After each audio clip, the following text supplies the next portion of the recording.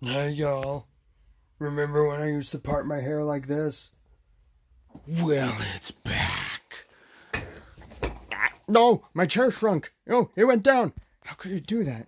Screw you, chair. Screw chairs.